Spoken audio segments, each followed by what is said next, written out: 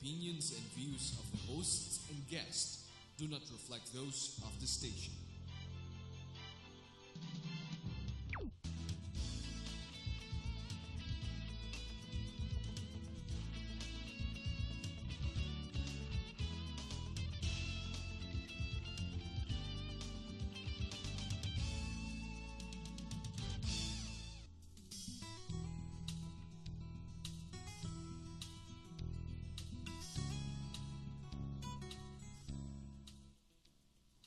Good evening, ladies and gentlemen, and welcome once again to For the Public Good. We're the show that tries to identify corporations, institutions, and individuals who are doing good and are doing it well. And this evening, I'm really happy to be able to share a microphone and cameras with uh, Luis Petzold, and uh, also he's brought with him Mark Whitaker, and they're with the Up With People NGO worldwide uh, that I'm not going to tell you too much about them now because I'm going to let them tell the whole story. Good to see you, Luis, it's good to see you again. Mark, it's good to meet you, and thank you so much for coming. Uh, they're here in the Philippines uh, to do a lot of community service things, but you're capping all of that off with a big show Saturday night. Correct. And uh, we're going to mention that uh, two or 17 times throughout this hour here so that you'll be sure to know where it is, and I hope you'll all go out and see it because it's surely for a worthy cause. Um, Luis, tell me a little bit about what is Up With People. I, you know, it's a, it's a really neat name, but what, what do you do? Well, again, Larry, thank you for inviting us. It's such a pleasure to be here again Mhm. with you. Uh, Up with People, it's an international NGO, exists for 47 years. Mhm. So it was created in 1965. And the main goal, the main goal of the organization is to bring people together. And one of the biggest ways we do this is by music, using Mhm. music as a way to communicate. And we travel around the world with young people ages 18 to 29 from 20, 30 different countries. We're visiting different places in the world. Everywhere we go, we do a lot of volunteer work. We do community service. So that's about 60, 70% of our time in each and every community. We also do live with local host families. So it's an opportunity for the group to experience the culture and learn from the ones that know it very well. And it's at the end, Up with People, it's an educational program. We have, for instance, even universities that grant us six months of college credit for anyone to join our program traveling around the world. Oh, really? Really?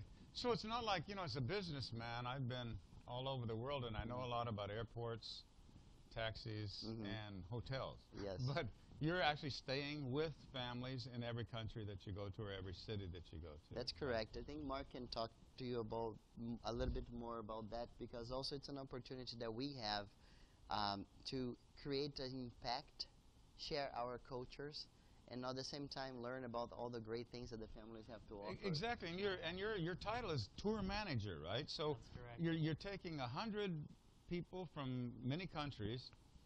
You're not putting them on the same bus, but you're getting, you're getting them somewhere. What what? Tell me some of the interesting things that go on with that. How Oh wow! how's it working for you? Uh, That's uh, where to start, you know? Um, to do what we do, you know, combining, like Luis was saying, the community service, the host family living, the international participants, the education, and then to cap it all off with a performance or two or three or sometimes four times a week Mhm. in Asia, in Europe, Latin America, the United States, all over. Mhm. Uh, we, we've got some fun stories. well, I'll bet you do. And you guys have been now in the Philippines. Uh, Luis and I last month Yes. we uh, did a show on the Building Bridges show that Yes, I do for it YouTube. was a great show. And uh, it was it was good to hear about all of the things that you're doing. And we couldn't talk very much ab- at that time Mhm. about the performances here because everything hadn't been uh, nailed down yet. I guess. Yes. First of all, you said uh, you've been doing some community work here Mm-hmm. in the time. Can you tell me? Just give me some of the details of the things you're Yeah, doing. Yeah, of course. I mean, it's one of the, our biggest uh, pleasures when we come to the Philippines is the opportunity to interact face to face with the local community. Mhm. And normally we're looking for also underprivileged areas. Right. So it's an opportunity for us to give back while we're getting so much Mhm. more back. Uh, it's a win-win situation. Up with People does that everywhere in the world we go to. In the Philippines, we've been doing this since 2007. So this is our fifth visit to the country, Mm. and we're really building bridges, Mhm. like um, your show talks about, and Up with People talks about building bridges of understanding, uh, creating those relationships, and learning from each other. Mhm. Uh, it's a win-win situation. Like I mentioned, we're working again with Gawad Kalinga. We've been working with them for five years. Mhm. Working with Bukas Palad. We're working with Liter of Light. We're working with so many great projects where our participants have the opportunity to learn Mhm. about the current situation in the country, in that community, at the same time that they're offering a, a hand or two to go out there and, and do some labor. Mhm. So leave some impact behind. And for instance, uh, yesterday, today, tomorrow, it's Friday, the group is split throughout the city in several different sites doing service.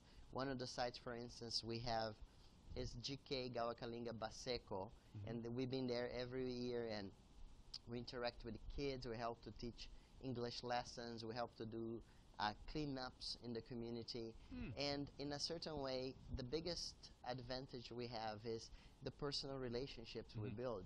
Some of the kids that were there remember the staffs, the staff members that are coming back. Right. They remember the names of the previous cast members. really, You know, really. and they send send this so and so hello for me.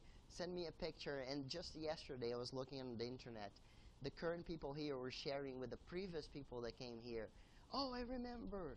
I remember. So they, they it goes around in so many interesting ways. That's that's the great thing. You know, a lot of times uh, people feel.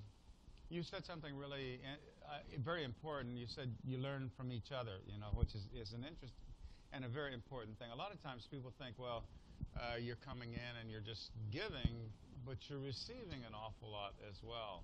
And you've been at this now how many years? um, six years. I traveled in 2006, and I've been with up with people arranging all the tours in Asia since 2007. and and Mark, how about yourself? I've been with them for three and a half years now, so I've done uh, I've done two Asian tours now.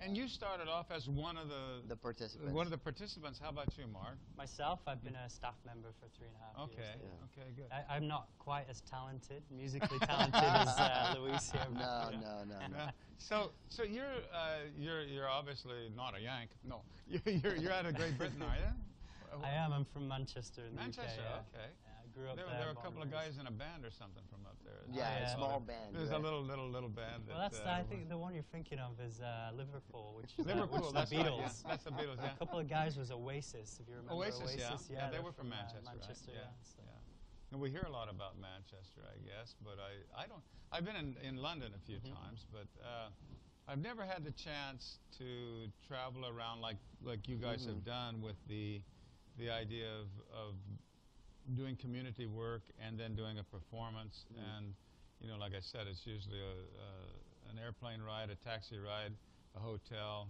a meeting venue, and then back to the back to the airport again. So you know? don't have a chance to really no, see the. no. I mean, and usually if I found a place I liked, Mhm. uh, I would try to take two or three days sometime and Mhm. go on a on a short vacation, you know, to make it. Uh, but not often did that happen either, you know. So I think it's great. Uh, you said that you had some interesting experiences. Can you, why don't you give me, give me one that, that isn't going to get anybody in trouble? Oh, wow. but, uh, well, if you don't mind, if you don't mind, just jumping in. yeah, sure. Something you just said right now about you haven't had the chance yet to experience. Yeah. Up with people just created a new project For that somebody over nine, over 29. Yes, and you know it. So we exploring uh, this project for the first time and have the honor to do the very first, as we call Cast X for. Up with People Experience. Mhm. So Cast X is in Manila right now, Mhm. and they also are some of the parents, some of Mhm. the sisters and brothers, host families from other cities Oh, really? uh, alumni from the program or people that just want to know more and have an experience such as the one that we offer. And so they're just supplementing or, or coming around and, and Yes, being yes. something added to, to the- to exactly. the, program. so we, we, di- we did that. We have our 100 young people from 20 countries, Mhm. and then we have about 15 more from the Cast X. I see. So now we actually with 115 people in the city doing volunteer work all over, and they actually working side by side as well. Hmm. So you have now different generations as well contributing for something good. Well, that, no, that's great. You know, for my generation, you could probably uh, maybe furnish wheelchairs or whatever. of course go not. You got a lot of energy.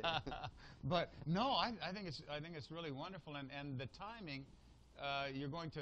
You said it was 18 to 29. Yeah. 18 to 29, which is yeah, that's a nice nice age. Range, yeah. And uh, what have some of the alumni done? I know you're an alumni and Mhm. you've gone to work for them. Mhm. What typically do people stay in touch with you after? Yes, um, Mark and I were actually talking about that Mhm. yesterday. For instance, People has about 21,000 alumni Oh wow! throughout the 47 years of the organization, and from like over 100 countries. And I think in that way, that's one of the interesting things is if you think from a networking perspective, from a different range of professions. So we have people that work with the government, people Mhm. that work with NGOs, people that work with their own businesses, became Mhm. CEOs of companies, Right. or you know like in the arts Mhm. and the sciences so interesting enough the experience of up with people it's a six months experience that could also be one year but that experience you take with you for your whole life And those, those so those people are coming. Uh, six months they're on the road with you around Yes. the world, or maybe a year on Yes, the road uh, yes. with you. because we have like a two We have a month second semester now. Mhm. We, we found that um, a lot of young people nowadays, they, they, they prefer to, um, it's, it's instant. People sign up instantly to our program. They, they decide they want to go away for six months and they do it within a, sometimes a two week, two week period. They say, hey mom, dad, I'm off. I'm going to go around the Yeah. world. I just found this great site. I went to see the show. Uh, my friend just traveled in it. And we found that doing a six month program uh, fits better with semesters and the current education Right, system. right. But with a second semester program, what we do is we drill down and focus in what the second semester students would like to focus on. Be it more show, be it more community service, be it more education. Mhm. And so we'll offer them internships throughout their second semester. Oh, I so see. they can Good. really grow that way. And and you have pretty much an equal number of uh, male and female, or I think you asked me in the other interview Yeah. as well. Remember. It's about two for one. Normally, it's about 60% female, uh, 40% male. About we that. find that everywhere. You know, I, Yes. yeah. I, I, are they more adventurous? Do you think think women are just or- taking over the world. Yeah, Well- taking, taking the lead, and uh, we Well, they, please. they've got all my money. with I, no, no, I, I don't mean that in, Uh-huh. a, in a bad way at all. No, I, I do believe I'm really interested in Mhm. the fact that that uh, ladies are given the chance to Sure. go and do these things because they're going to be the, the next leaders as well. I Of think as, course. as certainly as my country develops and, and Sure. in Great Britain, you already had a prime minister We who did, was yeah. a woman. And uh, I think we're going to see more and more of The- that. yeah, the president of Brazil now is a woman. Oh, yeah. So and and we notice. I mean, even here in the Philippines, uh, we've been meeting great women. They're taking the lead and creating a lot of positive change. For instance, up with people. Just yesterday, we did an international leadership roundtable. Mhm. So we brought ten leaders from the country, and we have at least half of them were female and half of them male, and it was a wonderful mix No, because I- you I bring all agree, that, yeah. different dynamics and the different points of view, and at the end, they all talking about the same things with a little bit of a different vision. Well, that's the beauty of it is we don't see the world the same way. You know, I mean, Mhm. ladies do not see the world the same way that men do, and sometimes we're a little bit more aggressive than we, we need to be. Yeah. and uh, maybe the world would do better with more women leaders. Yes. Over overall, you know. Yeah, and I think and this gives them a chance to go around. Of course, yeah. If you're going around the world, how many countries typically would uh, would you visit in six months? the tour normally is about three cultural regions. Mhm. So let's say we'd go to North America, Latin America, Europe, Asia, and within each uh, country or region, we do maybe a multi- multiplicity of countries. So Europe, we normally tend to visit four to 5 Mhm. Um, in Asia, this is the first time we did a tour in two countries in Asia in the same tour. So we just had three great weeks in Taiwan Okay, great. and now Philippines. And in Taiwan, the group had the chance to perform for the National Day celebration of the country, oh, great. invited by the Ministry of the Foreign Affairs, and we performed for the president, met the president, took a great picture with him. So I think, imagine if you were 18, to 29 and you're traveling the world and having this kind of experiences. Uh, and then coming to the Philippines, we were in Puerto Princesa for a week. Mhm. So we performed there for about 3,000 people, celebrating the underground river. Mayor Hagedorn, through Puerto Princesa city government, Mhm. was supporting us, and it was a beautiful stay. Mhm. We planted trees. We interacted with the local indigenous population. We went to the mangrove areas. Mhm. So I think they have a very well-rounded experience. Mhm. And then coming to Metro Manila here, and then you find all the big buildings and the different sides, and poverty is very extreme, and Mhm. they are hands-on working in some of this underprivileged communities. So it's a really eye-opening experience, and it's an opportunity, like we were talking before, to give, but also to get. So it's a, a positive exchange. No, that's great, you know, because the receiving side, and one of the nice things probably about coming to the Philippines is uh, most of the people can at least, even if they're not well educated, can communicate on a, on a certain level of English, right? Uh, That's correct. And For certainly sure, the, yeah. the educated can make it everywhere. So it's a lot easier to kind of get something back than you do a lot of the time if you're having to work through interpreters or only work through people that, that can do the language. Which Taiwan, I my experience in Taiwan is I find more people speak Japanese than they do English because of the, the factories and things there. yeah, and the business relationships. right, that, right. Dozo, dozo, on, dozo.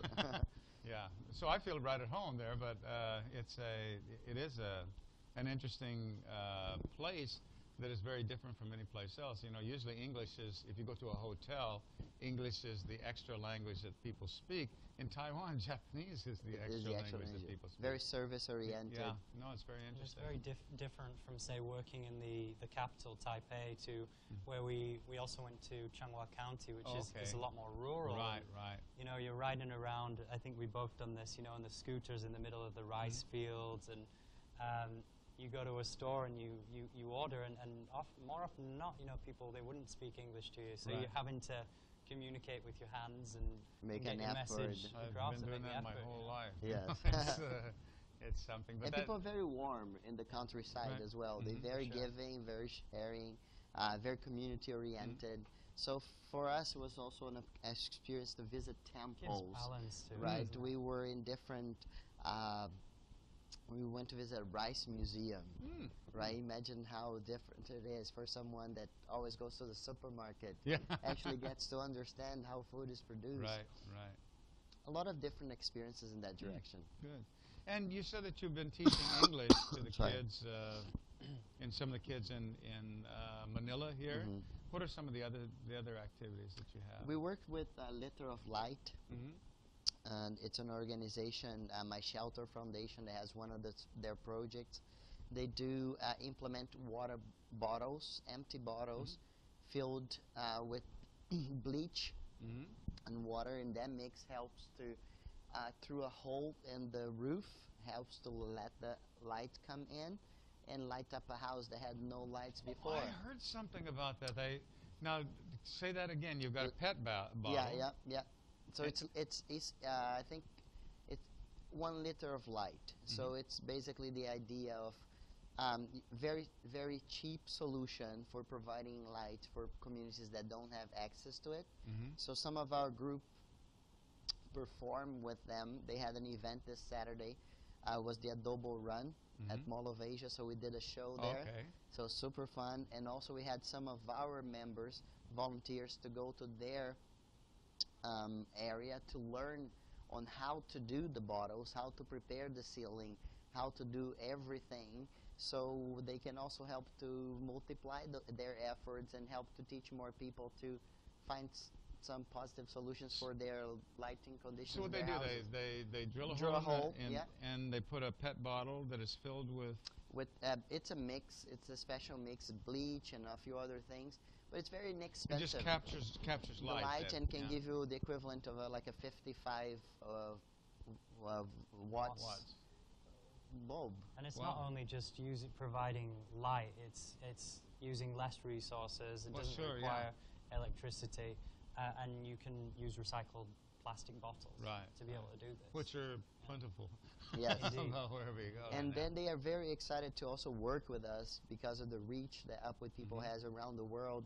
So we're looking to establishing a more f- form of partnership to help Mm-hmm. to um, share some of their best efforts around. And also for us, it's a great opportunity as they have um, created a great impact here in the Philippines for us to partner with them. So it's it's been very productive. This is the first time we're working with them.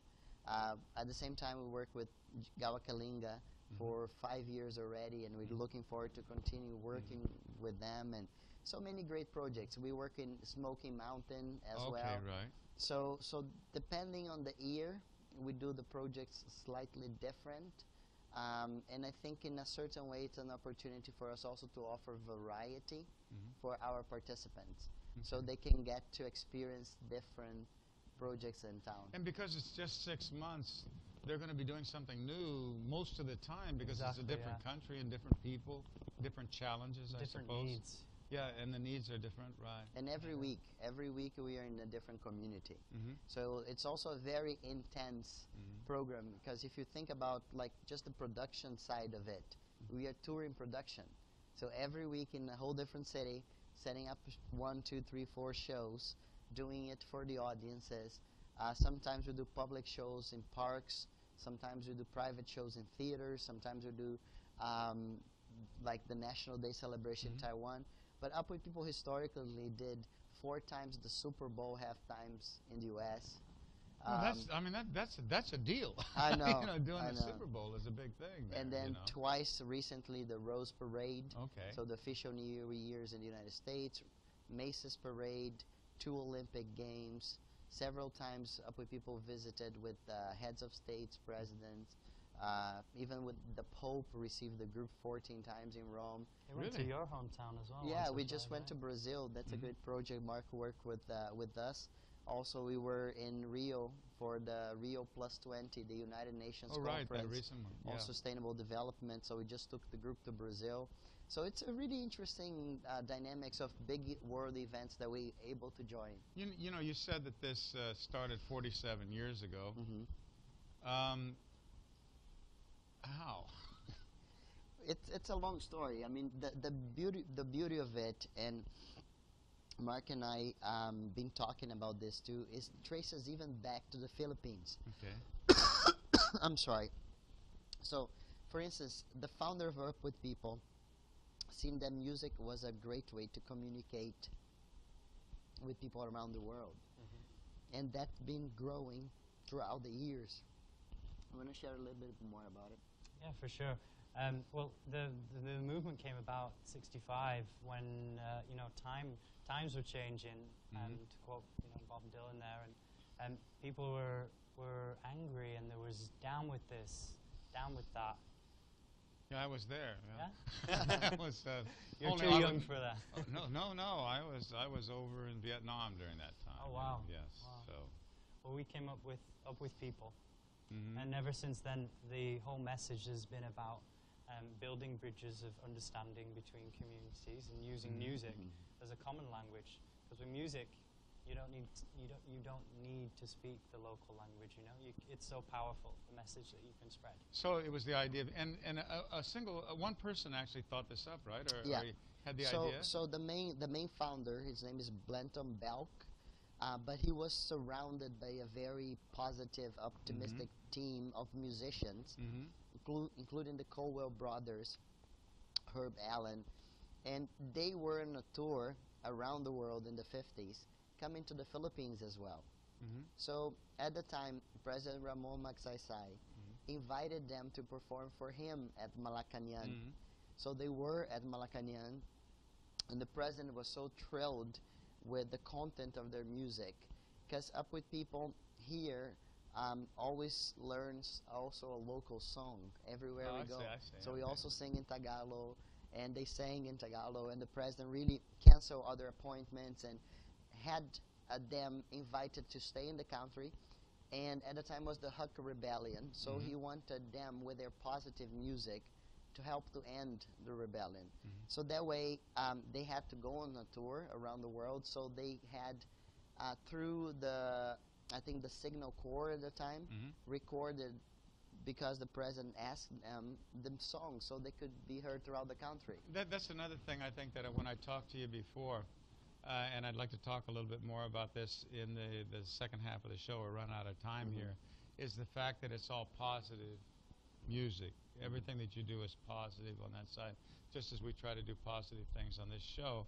And, uh, and when people go to see the show, they're going to see hip hop, they're going to see rap, they're going to see all of these things, but it's always from a positive uh, position, isn't it? You know? That's that's correct. And we're going to talk uh, a little bit more about uh, the show that's coming up on Saturday uh, right after we take this very short break. We'll be right back, so don't go anywhere.